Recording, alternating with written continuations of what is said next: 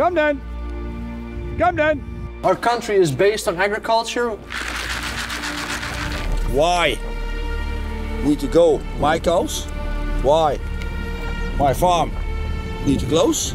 Everyone has someone in their family who was once a farmer. The manure is in the Netherlands, which is ammonia, which is a, a form of uh, nitrogen, which is bad for the environment, bad for nature.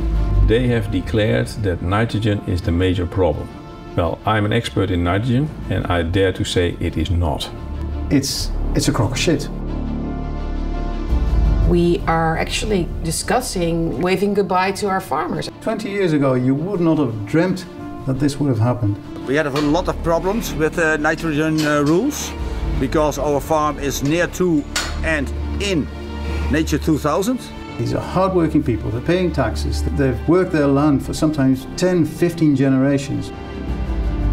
I think the political system, like we have it in the Netherlands now, is totally broken. They are really suffering. Six farmers have actually hanged themselves because of this new policy. Farmers have to reduce the use of, of, of nitrogen. Our government did say we need to uh, reduce 95% uh, of nitrogen uh, in this uh, Natura 2000 area. Our intention is to explain why this is so important for them and for nature -huh. but not to change the goals of the policy. That's not the case. It's not going to happen.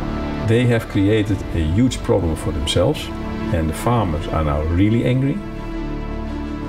We're wasting billions and billions on a nightmare. Government has to do what the government has to do sometimes, which is painful. Uh, but there is also 25 billion euro for a small country as the Netherlands. Uh -huh. to help farmers to get a better life, to help nature, to restore.